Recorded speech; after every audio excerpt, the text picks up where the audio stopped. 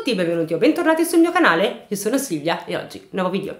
Vi ricordo che se avete piacere potete anche seguirmi su Instagram. Detto questo, andiamoci dentro col video.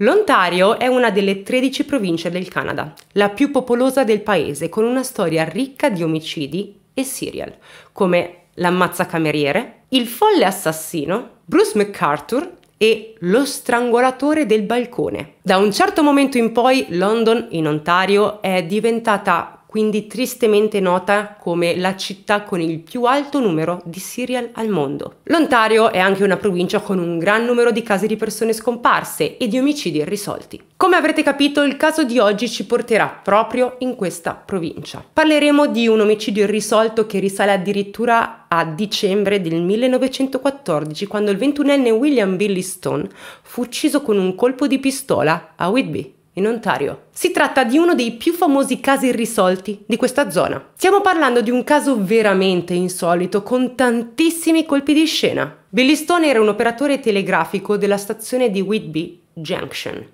Era un giovane gentile e premuroso, amato dalla comunità. L'11 dicembre 1914 Stone stava facendo il turno di notte quando un singolo colpo di pistola risuonò nella stazione. La gente rimase sbalordita dalla sua morte e faticò a capacitarsi del fatto che fosse stato ucciso in un modo così spietato. Per quanto spaventoso potesse essere il fatto che Billy Stone fosse stato ucciso in quel modo, la cosa che faceva più paura era pensare che l'assassino di quell'uomo fosse ancora in circolazione, libero di colpire ancora. A più di cento anni dall'uccisione di Billy Stone ci si chiede ancora chi gli abbia sparato e perché? All'epoca la polizia locale aveva effettuato le indagini del caso e interrogato le persone coinvolte, ma alla fine il suo omicidio rimase comunque irrisolto. La stazione ferroviaria in cui Billy Stone è stato ucciso è ancora in piedi, anche se ha cambiato sede dopo l'omicidio.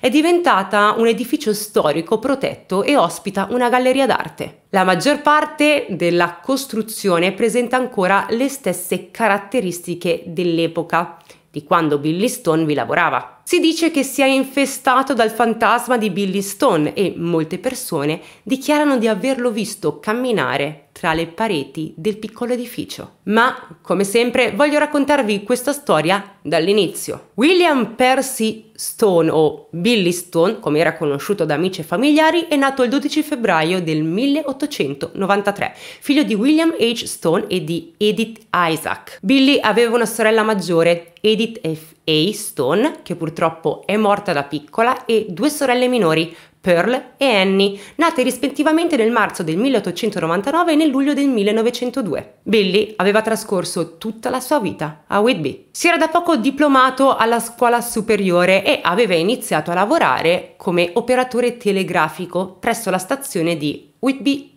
Junction. Era incaricato di registrare i treni che transitavano, ma poiché faceva il turno di notte, aveva anche il compito di cacciare i senza tetto che cercavano di dormire in stazione. Billy Stone viene descritto come una persona amichevole e affabile, di buon carattere, un gran lavoratore, era ben voluto sia dai clienti che dai colleghi e i residenti di Whitby passavano spesso in stazione a qualsiasi ora per parlare con lui. Proveniva da una famiglia molto rispettata nella piccola comunità.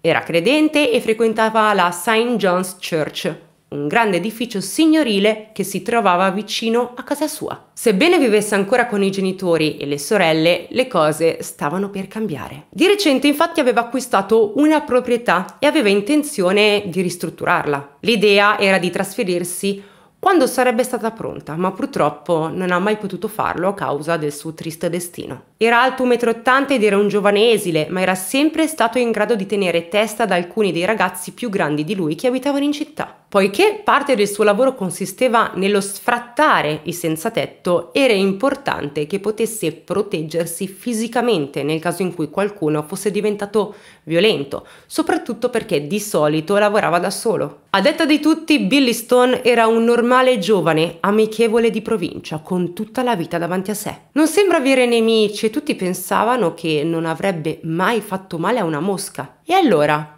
Com'è possibile che abbia fatto quella fine? Perché qualcuno avrebbe voluto ucciderlo? La sua morte scosse la comunità. Quando si diffuse la notizia del suo omicidio, gli abitanti di Whitby si affollarono presso la stazione ferroviaria con il disperato bisogno di scoprire cosa fosse successo. Gli amici e la famiglia di Billy Stone erano sconvolti per la perdita improvvisa. C'erano così tante domande intorno al suo omicidio, ma sfortunatamente c'erano pochissime prove su cui basarsi. Ma prima di addentrarci nella parte investigativa dell'omicidio di Billy Stone, diamo un breve sguardo alla scena del crimine. La stazione di Whitby Junction dove Billy Stone lavorava, fu inaugurata nel 1903. Si trovava al 1450 di Henry Street a Whitby, in Ontario. Come ho detto prima, l'edificio esiste ancora conservato come galleria d'arte pubblica, anche se è stato spostato per ben due volte dalla sua posizione originaria. Era situata tra la stazione di Pickering, che viaggiava verso Sarnia, Ontario, e la stazione di Oshawa diretta a Montreal. Si trovava sulla Grand Tuck Railway, la linea principale della Canadian National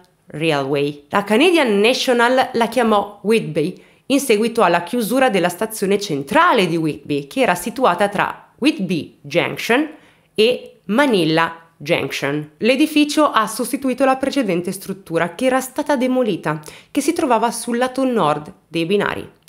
La stazione era un nodo di scambio con la Port Whitby e Port Perry Railway. Il 10 marzo 1882 la Port Whitby e Port Perry divenne parte della Midland Railway of Canada. Nel 1884 divenne poi parte del Grand TAC, anche se l'accorpamento non fu autorizzato fino al 1893. Il Grand TAC aggiunse un binario supplementare che andava dalla stazione al raccordo. Questo permetteva ai treni di andare avanti e indietro da Whitby Junction a Lindsay e altre stazioni. In origine il nome della stazione era dipinto sui lati del tetto lungo i binari. C'era anche un'insegna montata sulla grondaia sotto il tetto, aggiunta prima del 1920, ma negli anni 50 il nome sul tetto era scomparso. La stazione è stata progettata in stile ferroviario, un prodotto del Dipartimento Edilizio del Grand TAC. Aveva un grande tetto sporgente che circondava l'intero edificio per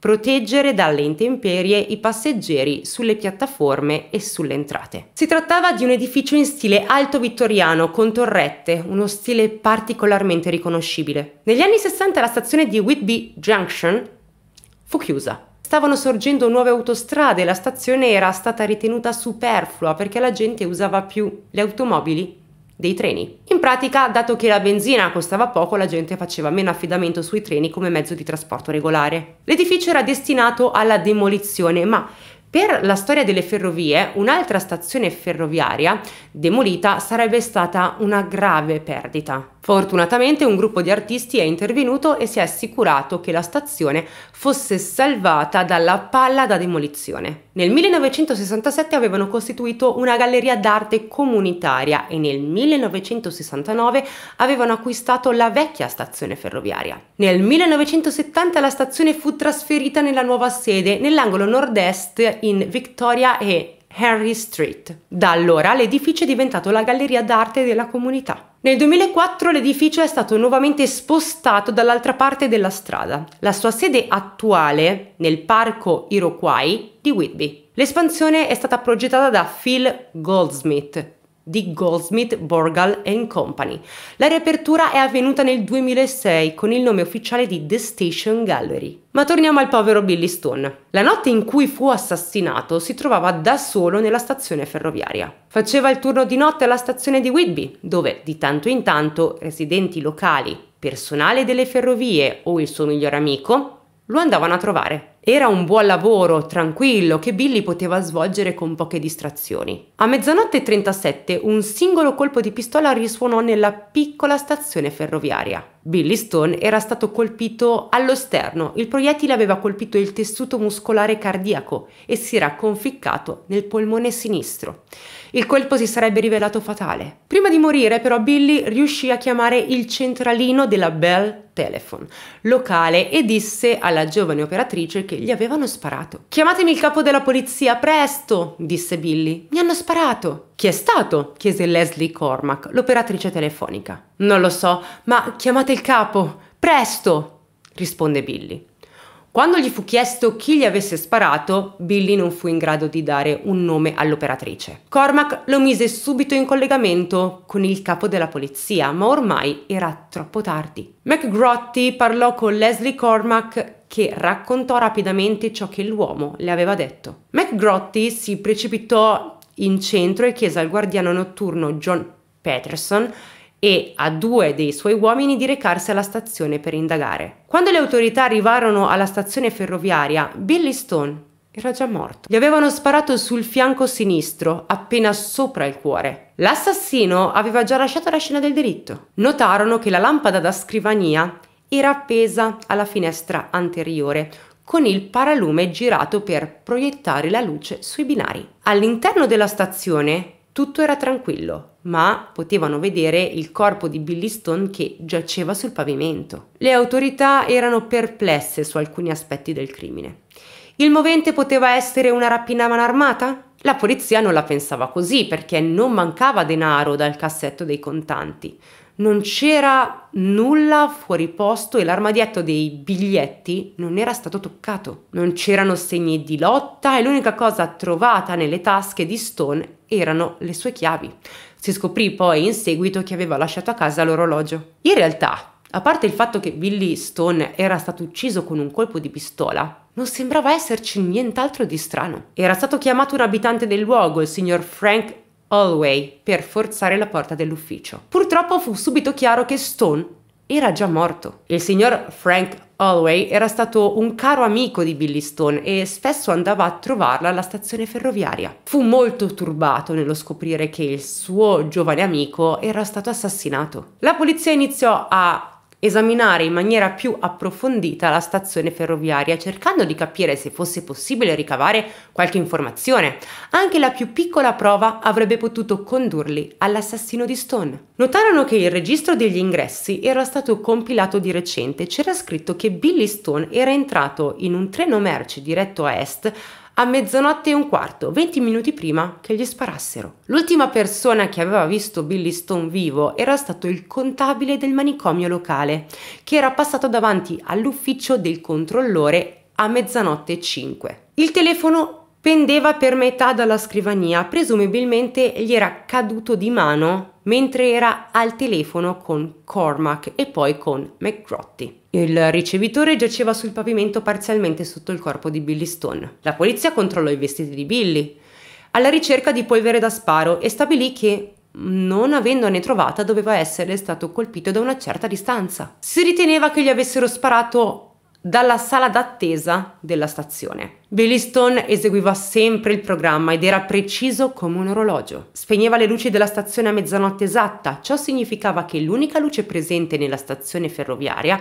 era la piccola lampadina posta sopra di lui. C'erano solo alcune gocce di sangue sul pavimento e sui vestiti di Stone. Sul pannello dell'armadietto lì vicino invece c'era un'ampia zona coperta di sangue, che assomigliava all'impronta di una mano insanguinata. Per i poliziotti non c'era molto altro su cui basarsi, avevano trovato un'impronta di mano insanguinata sulla scena del crimine, ma non erano in grado di determinare chi l'avesse lasciata lì. Entrambe le mani di Billy Stone erano pulite. Circa alla stessa ora in cui gli uomini arrivarono alla stazione ferroviaria, un treno merci diretto a ovest uscì da Whitby. Le stazioni occidentali furono avvisate. La polizia arrestò due giovani Gilbert e Cecil Connors di 17 e 21 anni per aver rubato un passaggio sul treno merci. I due giovani vennero trattenuti per essere interrogati, in quanto possibili sospettati della sparatoria, ma vennero rilasciati poco dopo, perché era stato accertato che erano saliti sul treno a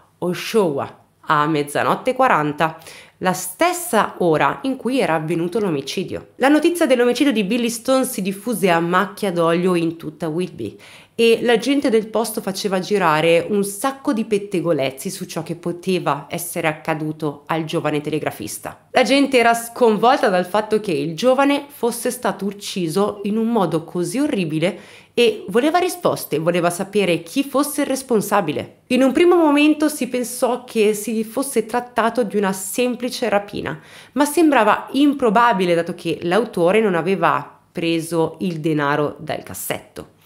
Questa idea sembrava la meno plausibile. Altri pensavano che potesse trattarsi di un vagabondo che aveva cercato di pernottare alla stazione, visto che Billy Stone spesso li doveva cacciare dalla stazione ferroviaria.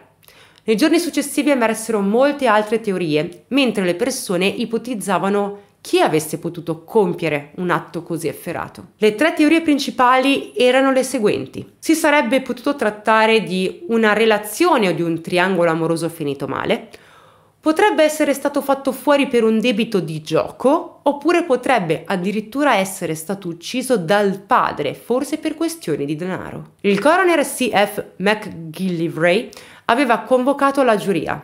L.F. Richardson, il primo giurato, Arthur Ellis, Peter Williams, Fred C. Lind, Fred Rogers, James Gray, William Hopper e John Smith. La giuria aveva visto il corpo e ascoltato il capo McGrotty raccontare cosa fosse successo la notte in cui Billy Stone era stato trovato morto. Il dottor E.L. Proctor Dopo aver eseguito un esame post mortem, aveva scoperto che il proiettile era passato attraverso il tessuto muscolare del cuore e non attraverso le camere cardiache. Questo spiegherebbe il fatto che Billy Stone fosse riuscito a usare il telefono poco dopo essere stato colpito. Il proiettile era rimasto conficcato nel suo polmone sinistro. Si trattava di un calibro 35 Dominion. L'ispettore Greer del Dipartimento di Polizia Provinciale era stato incitato città per effettuare un'attenta ricerca di eventuali indizi che avrebbero potuto portare all'arresto dell'assassino. Greer e McGrotty si erano recati al parco Hayden Shore nella speranza di catturare l'uomo che era stato visto aggirarsi da quelle parti. Il vagabondo aveva cercato riparo nel cottage estivo del signor Samuel McLaughlin di Oshawa. Un residente del luogo, il signor John Chestnut, aveva raccontato che il misterioso vagabondo era apparso per la prima volta nel parco la notte precedente l'omicidio. Era stato visto alle 11 e sembrava nervoso. Era poi uscito dalla porta e si era diretto verso est. John Chestnut si era nascosto nel cottage, aspettando il ritorno del vagabondo, che però non riapparve mai. I due uomini setacciarono il cottage dalla cantina alla soffitta, ma non riuscirono a trovare traccia del vagabondo. Ritenevano che potesse essere lui il responsabile dell'omicidio. Durante il suo breve soggiorno, il vagabondo era rimasto in soffitta, dormendo e cucinando in una delle stanze del sottotetto, ma sembrava che se ne fosse andato per sempre. I due uomini hanno preso le misure delle impronte lasciate dal vagabondo, nella speranza di confrontarle con le prove lasciate alla stazione di Whitby. Michael Basso, che lavorava come interprete italiano a Toronto, ha contribuito nelle indagini parlando con alcuni dei lavoratori italiani assunti per l'appalto delle fogne. Ha cercato di scoprire se qualcuno degli uomini del progetto fosse assente dal cantiere la notte dell'omicidio, nella speranza di poter scoprire chi fosse l'assassino. C'era la possibilità che uno di loro fosse responsabile della sparatoria o che, uno degli operai avesse visto qualcosa che potesse essere collegato al crimine. Non scoprì nulla di importante. Le sorelle minori di Billy Stone, Pearl e Annie, erano molto più giovani di lui ed erano sconvolte dalla perdita del loro fratello maggiore. Una delle sorelle raccontò alle autorità che la notte della morte del fratello aveva sognato che Billy veniva ucciso con un colpo di pistola e che l'ora cominciava esattamente con quella in cui era stato effettivamente ucciso. Il giorno del funerale di Billy Stone si era abbattuta sulla zona un'enorme bufera di neve. Era il tempo tipico dell'Ontario a dicembre, ma quella bufera arrivò nel momento peggiore. Nonostante le cattive condizioni meteorologiche, il funerale di Stone fu celebrato comunque. Si era presentato un gran numero di persone per rendergli omaggio. La cerimonia iniziò nella casa di famiglia di Billy Stone, a ovest della stazione di King Street. Il corpo era circondato da composizioni floreali. Erano presenti la madre e le sorelle di Billy Stone, oltre a dei colleghi operatori che avevano assunto il ruolo di portatori della bara. Il gruppo di persone in lutto si recò alla chiesa di St. John dove Billy Stone aveva ricevuto la cresima. Il reverendo F. Glover officiò il servizio funebre continuando la funzione iniziata nella residenza di Stone. Billy Stone fu deposto in un lotto a est dell'ingresso della chiesa in piena vista della stazione ferroviaria in cui aveva perso la vita. È stato pianto da tutta Whitby, poiché aveva trascorso tutta la sua vita nella zona ed era conosciuto da tutti. Fu un momento tragico per la famiglia Stone. Avevano già perso la loro primogenita, quando aveva solo pochi anni, ora che anche la vita di Billy era stata stroncata, agli Stone erano rimaste solo le due figlie più piccole. Una volta che il corpo di Billy fu deposto, le autorità avviarono le indagini sul suo omicidio. Nel gennaio del 1915 la polizia indisse un'inchiesta per determinare esattamente cosa fosse successo a Billy Stone. Si cercò di risolvere il caso ma si giunse sempre a un punto morto. Abbiamo visto che una delle teorie prese in considerazione era l'idea che il responsabile fosse un senzatetto o un vagabondo locale. Spesso gli uomini che Billy aveva dovuto cacciare dalla stazione erano più rudi o più grandi di lui, ma non si tirava mai indietro. Questo ha portato alcuni a credere che il responsabile del suo omicidio potesse essere quindi un senza tetto.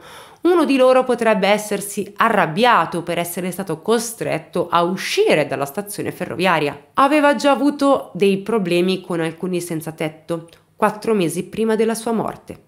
Si sospettava che alcuni di loro avessero continuato a frequentare la stazione di notte. Molti lo consideravano impavido e spesso Billy Stone doveva affrontare alcune persone alla stazione ferroviaria per mantenere la pace o perché qualcuno voleva dormire al caldo della stazione ferroviaria durante la notte. È possibile che uno di loro si sia arrabbiato con il giovane lavoratore per essere stato sfrattato con la forza le autorità hanno vagliato molte piste cercando di capire se fosse questo il motivo che aveva portato Stone a essere ucciso con un colpo di pistola.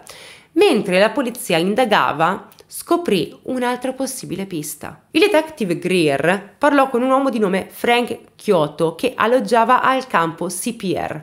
Kyoto gli disse che la notte dell'omicidio aveva avuto uno strano incontro con un uomo dall'aspetto folle vicino al Windsor Hotel. L'uomo lo aveva afferrato poco prima di mezzanotte e aveva minacciato di ucciderlo se non lo avesse accompagnato alla stazione ferroviaria. Kyoto riuscì a liberarsi dalla presa e corse per un chilometro fino al campo. Raccontò poi ai suoi amici cosa avesse detto l'uomo e come lo avesse afferrato. Solo il giorno dopo però Kyoto venne a sapere dell'omicidio di Billy Stone al Whitby Junction. Era convinto che l'uomo che lo aveva afferrato fosse lo stesso che era andato alla stazione ferroviaria e aveva ucciso Billy Stone. Ricordava che l'uomo era basso, circa 1,65 m, ma era talmente spaventato dall'incontro che non ricordava cosa indossasse. C'era quindi la possibilità che quest'uomo insolito fosse l'assassino di Billy Stone? Che cosa ci faceva alla stazione ferroviaria a quell'ora? Stava cercando Billy Stone? Erano passate alcune settimane e l'inchiesta era ben avviata. L'omicidio di Billy Stone aveva suscitato molte speculazioni e interesse, il maggiore interesse per un caso di omicidio a Whitby da anni. La sala del consiglio di Whitby era piena di curiosi, parenti e amici di Billy Stone, affranti e persone coinvolte nelle indagini. Il primo a essere chiamato a testimoniare fu Edward O. Keeler. Era un controllore di treni di Belleville era in servizio la notte dell'omicidio. Stone lo aveva chiamato a mezzanotte e 42. Mi hanno sparato, gli disse Billy Stone. Le forze mi stanno abbandonando, sono sempre più debole. Edward Killer gli chiese se avesse chiamato un medico. Sì. Billy Stone tentò di dire altro, ma la linea cadde e gli fu impedito di parlare ulteriormente con il moribondo. Un'ora dopo Killer ricevette una telefonata dall'addetto ai bagagli di Whitby e fu informato ufficialmente dell'omicidio. Fu una notizia profondamente sconvolgente poiché Killer e Stone avevano spesso comunicato al telefono per lavoro. Chas A. McDonald lavorava come agente di manovra sul treno merci che era passato da Whitby subito dopo l'omicidio e fu la persona successiva ad essere chiamata a testimoniare. Disse alle autorità che il treno era in ritardo, era arrivato infatti all'incrocio della linea di base di Whitby all'1.05 del mattino. McDonald entrò in stazione per prendere i documenti e due dei suoi uomini scesero dal treno per allineare alcuni vagoni. Dunque McDonald andò nella sala d'attesa della stazione e trovò quello che gli serviva nell'apertura dello sportello. Non vide Billy Stone,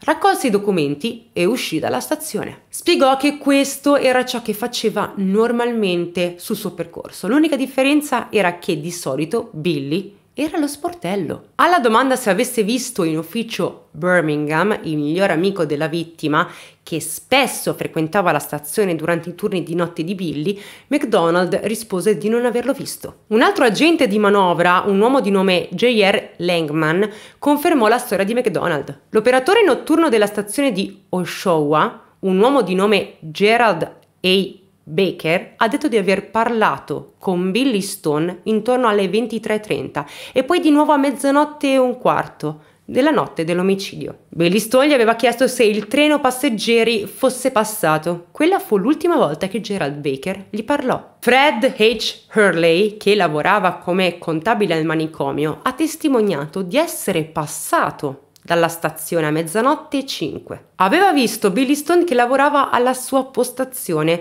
Era alla sua scrivania con la luce accesa sopra la testa e l'altra luce ancora accesa sul binario esterno. Fred H. Hurley ha detto di aver visto diverse persone nell'ufficio con Billy Stone durante la notte, anche se non sapeva chi fossero. Al momento dell'omicidio nessuno risultava assente dall'ospedale in cui Hurley lavorava. Fairwall, il procuratore distrettuale, cercò di scoprire se Victor Smith, l'operatore diurno della stazione, fosse a conoscenza della vita privata di Stone. Victor Smith disse a Fairwall di non aver mai sentito Stone parlare delle sue relazioni amorose. Smith gli disse che nella zona erano passati due treni merci, il primo alle 22.22 e il secondo alle 22.40. Erano stati segnati sul registro come di consueto, tuttavia la grafia non era quella di Billy Stone, il che era insolito. Victor Smith suppose che potessero essere stati registrati da Birmingham, a volte lo faceva per dare una mano al suo amico. Smith ha poi aggiunto che la serratura della porta dell'ufficio era in cattive condizioni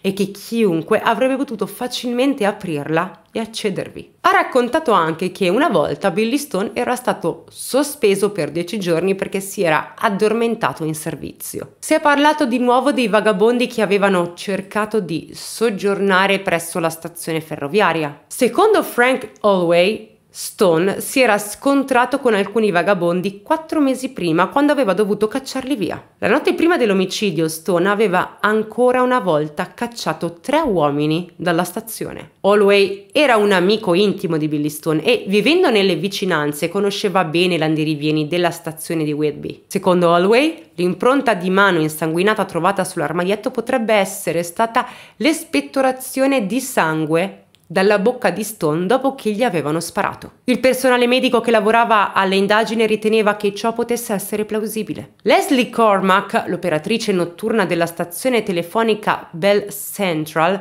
ha detto che Billy Stone l'ha chiamata esattamente a mezzanotte 37 del mattino. Ha ricordato che le aveva detto che gli avevano sparato e aveva chiesto di parlare con il capo della polizia. Nonostante l'abbia prontamente messo in contatto con McGrotty, non sono riusciti a scoprire chi avesse sparato a Stone. McGrotty aveva sentito un suono che poteva essere quello di Stone, che appoggiava il ricevitore del telefono sulla scrivania oppure quello del ricevitore che cadeva.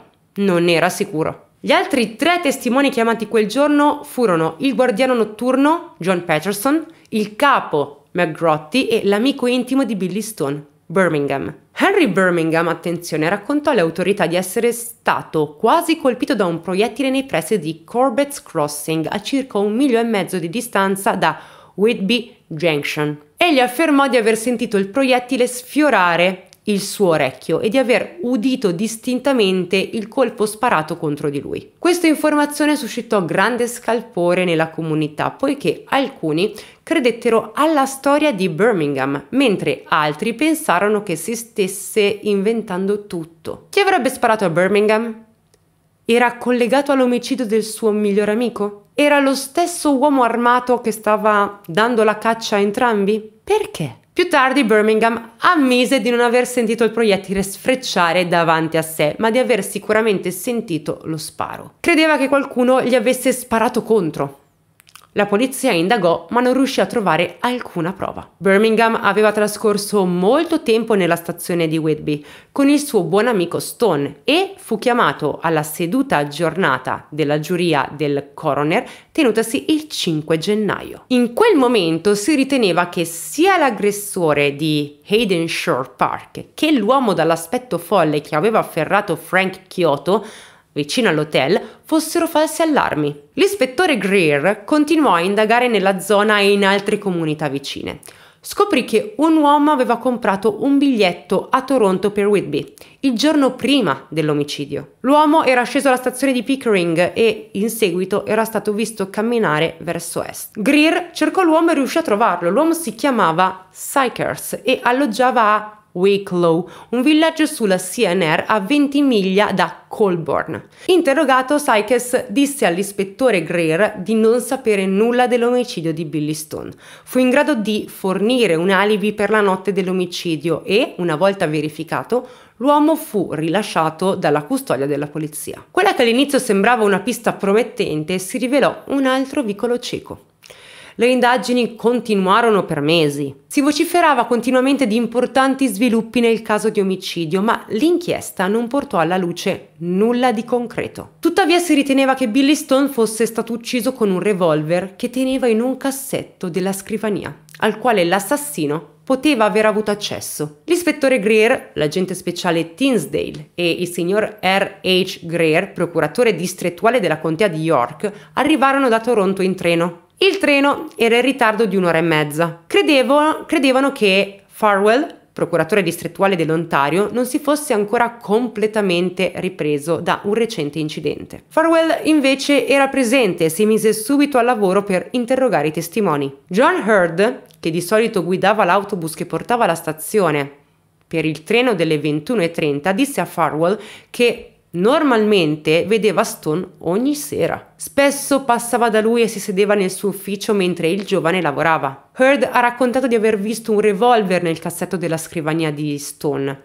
alla sua destra, e che in alcune occasioni ne aveva visti addirittura due. Ogni volta che il cassetto della scrivania veniva aperto, dunque poteva vedere le pistole nel cassetto. Heard disse di aver visto il revolver la notte dell'omicidio di Billy Stone. Aveva anche visto molto spesso Henry Birmingham nella stazione, ma Heard non era sicuro se il revolver fosse stato nel cassetto della scrivania le volte in cui aveva visto Birmingham lì. Anche un altro autista di autobus, un uomo di nome James Willis, che guidava per la Heard Son, era stato spesso in stazione con Stone. Willis disse di aver visto la pistola in numerose occasioni e giurò che anche Birmingham fosse presente in stazione quando il revolver era stato mostrato apertamente. A quel punto il procuratore Greer aveva mostrato un revolver e aveva chiesto a Heard e Willis se fosse quello che avevano visto nel cassetto della stazione. Entrambi gli uomini hanno negato categoricamente che si trattasse della pistola in questione. Il successivo testimone ad essere chiamato fu Fred Thompson. Era il cognato di Birmingham e si riteneva che potesse essere una una delle ultime persone ad aver visto Stone vivo. Thompson ha detto a Greer che non sapeva che Birmingham avesse un revolver fino a dopo la sparatoria e che comunque era convinto che si trattasse di un vecchio revolver. Birmingham viveva a casa di Fred Thompson e usciva ogni sera. Quando rientrava, di solito tra le 21.30 e le 22, cercava sempre di non fare troppo rumore. Greer interrogò Thompson sul tipo di conversazione intercorsa tra lui e Birmingham in merito all'omicidio di Billy Stone. Thompson si rifiutò di dire di cosa avesse parlato con il cognato. Secondo Thompson non aveva interesse a parlare dell'omicidio. Thompson considerava Stone un caro amico di famiglia. Ma si è rifiutato con veemenza di ammettere che l'omicidio era stato spesso oggetto di discussione tra i membri della sua famiglia, tra cui Birmingham. Venne quindi interrogata la moglie di Thompson, che si rifiutò anch'essa di divulgare altre informazioni sulla vicenda. Si rifiutò di dire qualsiasi cosa che potesse coinvolgere il fratello nell'omicidio. Signora Thompson ha ammesso che Billy Stone veniva spesso a trovarli a casa loro per chiacchierare almeno un paio di volte alla settimana. Chiamava spesso quando la sorella della signora Thompson era in visita, così come quando un'amica di Pickering si recava a casa loro. Tuttavia la signora Thompson si è rifiutata di dire che si è discusso dell'omicidio a casa loro. Interrogata, la signora Thompson ha dichiarato di aver appreso la sconvolgente notizia dal marito. Si era immediatamente precipitata a svegliare Birmingham per dirgli della morte del loro amico. Birmingham era sotto shock, non riusciva a credere che il suo caro amico fosse stato ucciso. Si era vestito velocemente, aveva fatto colazione e si era precipitato alla stazione di polizia per saperne di più. Greer si sorprese quando seppe che Birmingham si era preso il tempo di fare colazione prima di partire per la stazione di Whitby. Domandò cosa avesse detto Birmingham sull'omicidio al suo ritorno, ma la signora Thompson disse che non era stato detto molto sull'argomento. Ammise che nei giorni successivi si chiesero chi avesse ucciso Stone, ma che non ne parlarono veramente, perché lei non era particolarmente interessata. Greer trova difficile credere che un caro amico di famiglia come Billy Stone fosse stato assassinato sul posto di lavoro e lei non trovasse molto interessante l'argomento. Continuò a interrogarla, ma le sue risposte non furono convincenti e lei si rifiutò di parlare dell'argomento in quanto riguardava suo fratello. La signora Thompson ha tuttavia rivelato che Birmingham quella sera era rincasato intorno alle 23. Rimase sul banco dei testimoni per quasi un'ora e mezza, mentre Greer cercava di ottenere informazioni da lei. Non ebbe molto successo, la signora Thompson era piuttosto chiusa su tutto quello che riguardava l'omicidio e su qualsiasi cosa Birmingham potesse aver detto sul crimine irrisolto. Era strano che sia la signora Thompson che il marito fossero così sulla difensiva. Birmingham non era stato considerato come uno dei principali sospettati, ma piuttosto un testimone e un amico intimo del defunto. Però l'improvvisa chiusura nei confronti dell'indagine ha messo Birmingham e i Thompson in cattiva luce. La persona successiva a salire sul banco dei testimoni fu la signora William Stone, madre di Billy.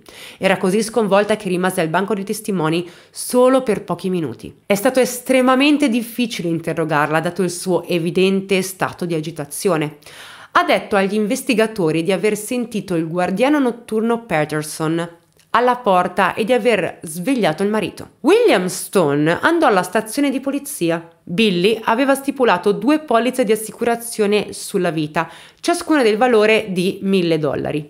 Lei era la beneficiaria di entrambe. La persona che salì subito dopo sul banco dei testimoni fu Birmingham, il migliore amico di Billy. Greer e le altre persone che stavano conducendo l'indagine erano molto interessati ad ascoltare la sua dichiarazione e sapevano che, interrogato, sarebbe stato più disponibile dei Thompson. Birmingham ammise di essere stato con Stone quasi tutte le sere e di essere stato con lui anche la sera in cui era stato ucciso, fino alle 23.30. A quell'ora se ne andò a casa a dormire, era esausto perché era stato sveglio tutta la notte precedente per sorvegliare un passaggio a livello. Birmingham negò di aver visto una pistola nel cassetto della scrivania di Stone. Per quanto riguarda il possesso di armi da parte di Stone, ha ammesso di sapere che Billy avesse un'arma, sebbene la tenesse scarica.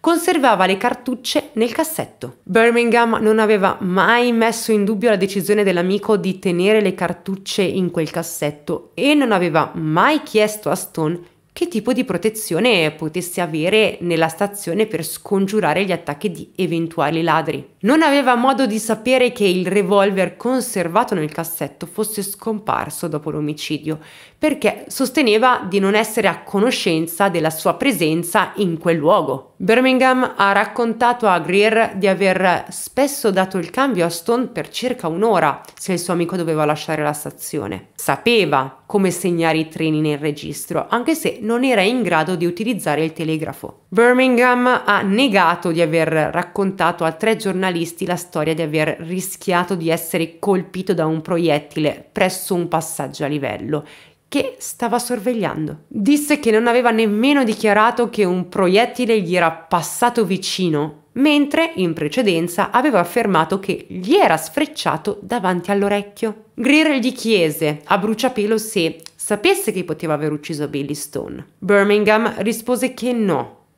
non lo sapeva. Quando gli fu chiesto se avesse anche solo dei sospetti su qualcuno, rispose che non ne aveva idea, perché per quanto ne sapesse lui, Billy non aveva amici. Birmingham era coinvolto nella morte dell'amico? Forse avevano avuto una discussione, forse Birmingham e Stone avevano proprio litigato di brutto quella sera? Anche se non era responsabile, lui e Thompson erano a conoscenza dei misteriosi eventi che circondavano la morte di Stone? Perché tutta questa segretezza? Perché mentire alla sbarra o formulare in modo specifico le proprie risposte in modo da essere cauti ed evasivi con la polizia? Si potrebbe pensare che Birmingham avesse qualcosa da nascondere. Perché non hanno voluto riportare le conversazioni avvenute tra di loro? Cosa stavano nascondendo? Il loro comportamento era molto sospetto. Birmingham era stato un amico intimo di Stone. Cosa poteva mai nascondere riguardo alla morte del suo amico? E perché se l'è presa comoda per andare alla stazione ferroviaria dopo aver saputo che Billy Stone era stato ucciso? Si alzò, si vestì e fece colazione prima di uscire di casa. Ci si potrebbe chiedere perché abbia indugiato così tanto invece di precipitarsi alla stazione per cercare di saperne di più su ciò che era accaduto a Billy. Quando le autorità hanno chiamato le persone a testimoniare, sapevano che, interrogando i testimoni, i familiari, gli amici e i potenziali sospettati, fosse possibile apprendere ulteriori informazioni o chiarire eventuali dubbi sul caso. Ma con i Thompson e Birmingham alla sbarra la loro testimonianza ha portato solo ad altre domande. Il signor Tinsdale, un detective, parlò delle sue indagini presso la stazione e di come avesse ottenuto da Birmingham un vecchio revolver che gli era stato dato da William Van Valkenburg, l'addetto ai bagagli che lavorava alla stazione. Tisdale disse che il revolver era molto vecchio e che non sarebbe mai riuscito a trovare una cartuccia che vi entrasse. Le cartucce nel cassetto della scrivania erano di calibro 32 e 38. Il proiettile che aveva ucciso Billy Stone era un calibro 38 e non sarebbe mai entrato nel revolver scoperto da Van Valkenburg. L'inchiesta sulla morte di Billy Stone era in corso da mesi ed era stato fissato un incontro un martedì di giugno del 1915. Il capo della polizia, McGrotty, si recò alla residenza degli Stone il sabato pomeriggio con un mandato di comparizione per William Stone Sr. per partecipare all'inchiesta come testimone. McGrotty lasciò la residenza degli Stone alle 3 del pomeriggio. William Stone aveva lavorato quella mattina e si era poi fermato al Royal Hotel per bere qualcosa. L'inchiesta sulla morte di Billy Stone era in corso da mesi ed era stato fissato un incontro un martedì di giugno del 1915. Il il capo della polizia McGrotty si recò alla residenza degli Stone il sabato pomeriggio con un mandato di comparizione per William Stone Sr., ossia il padre di Billy, per partecipare all'inchiesta come testimone. McGrotty lasciò la residenza degli Stone alle 3 del pomeriggio. William Stone aveva lavorato quella mattina e si era poi fermato al Royal Hotel per bere qualcosa. Quella sera tornò a casa solo verso le 6, fu allora che la moglie gli disse del mandato di comparizione. William Stone era piuttosto ubriaco e, a quel punto prese male la notizia che sarebbe stato chiamato a testimoniare. Si agitò parecchio. Stanno cercando di collegarmi all'omicidio. Andrò a gettarmi nel lago, gridò. Ha iniziato a comportarsi in modo strano, poi è uscito di casa. Si è diretto verso sud, verso i binari della ferrovia. Stone aveva intenzione di gettarsi nel lago Ontario, ma quando passò davanti alla stazione ferroviaria di Whitby, fu sopraffatto dalle emozioni. Aveva raggiunto l'alto argine che sovrasta i binari quando vide che un treno si stava avvicinando. Cominciò a scendere poi si gettò sui binari davanti a un treno merci diretto a ovest. Il macchinista lo vide sui binari e cercò subito di fermare il treno. E il treno si fermò, ma era troppo tardi per impedire che William Stone Sr. venisse schiacciato a morte da diversi vagoni che gli passarono sopra. Fu decapitato e il suo corpo fu tagliato in due. I suoi resti mutilati furono raccolti e trasportati in una cassa delle pompe funebri. La giuria, nominata dal medico legale, ne prese visione. La sua morte è stata considerata un suicidio, ma lo statuto impone l'inchiesta sulla morte causata da un treno ferroviario. Agli occhi dell'opinione pubblica, William Stone Sr. era il probabile colpevole dell'omicidio del figlio. Questo perché temeva di salire sul banco dei testimoni e il mandato di comparizione lo spaventava a tal punto da togliersi la vita per evitare di testimoniare. È importante ricordare tuttavia che l'omicidio di Billy Stone è ancora oggi considerato irrisolto, più di cento anni dopo che gli hanno sparato. William Stone Sr. aveva destato i sospetti dell'investigatore in numerose occasioni negli ultimi sei mesi. In particolare aveva aggredito la giovane figlia dopo l'omicidio del figlio e aveva minacciato di ucciderla. In seguito alle sue minacce è stato trattenuto per settimane con l'accusa di aggressione anche se la polizia non aveva prove per arrestarlo per l'omicidio di Billy Stone. L'inchiesta è proseguita quel martedì, come previsto, anche se non si è riusciti a trovare alcuna prova su chi avesse ucciso Billy Stone. Per questo motivo l'opinione pubblica si convinse ancora di più che William Stone Sr., il padre di Billy, fosse coinvolto nella morte del figlio.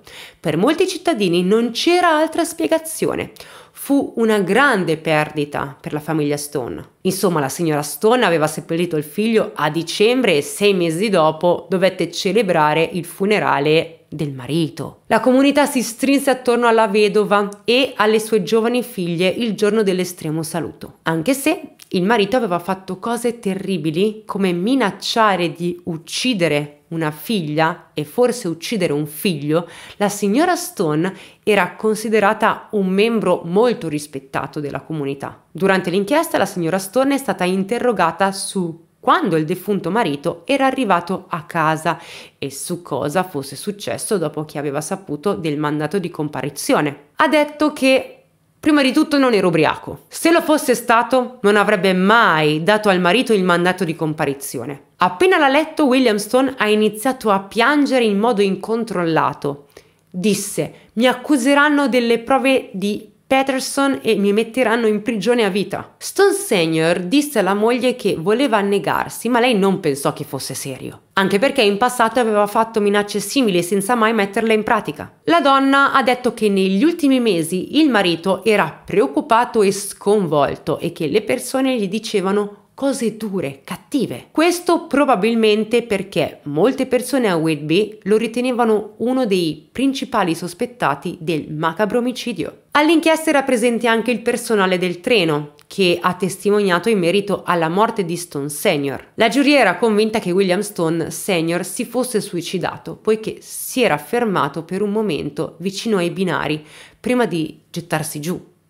La giuria emise quindi un verdetto di suicidio. William Stone Sr. fu sepolto nella tomba di famiglia della chiesa di St. John, dove erano già sepolti i suoi due figli. E quando la signora Stone morì negli anni 40, anche lei fu sepolta in quella tomba. Più di un secolo dopo la morte di Billy Stone, la gente è ancora curiosa di sapere cosa sia realmente accaduto in quella fredda notte di dicembre del 1914. Per alcuni il fatto che il padre di Stone si fosse comportato in modo così strano e si fosse poi suicidato prima di essere citato in giudizio era una prova sufficiente per credere che fosse lui l'assassino, ma per altri ci sono ancora dei dubbi su questo fatto. Ci sono ancora molti interrogativi su chi possa avergli sparato. È un crimine che probabilmente continuerà a rimanere irrisolto. Le persone coinvolte nella vicenda sono morte da anni e le prove raccolte sulla scena del crimine sono poche. Sebbene gli investigatori abbiano seguito molte piste e ci siano state diverse persone coinvolte, non sono mai riusciti a scoprire cosa sia successo quella notte. Si ritiene che il fantasma dell'operatore telegrafico morto continui a infestare l'edificio della vecchia stazione ferroviaria. Alcune persone hanno visto una figura spettrale attraversare i muri dell'edificio. Nello specifico, i luoghi in cui sono sempre stati avvistati i fantasmi sono quelli in cui le porte originali della costruzione sono state murate. Detto questo ho finito di parlare in questo video, fatemi sapere cosa ne pensate, secondo voi chi è il colpevole? A me dispiace ma io ho un grosso dubbio su suo padre, ma un grosso dubbio su suo padre, anche se effettivamente ci sono davvero pochissime, pochissime prove.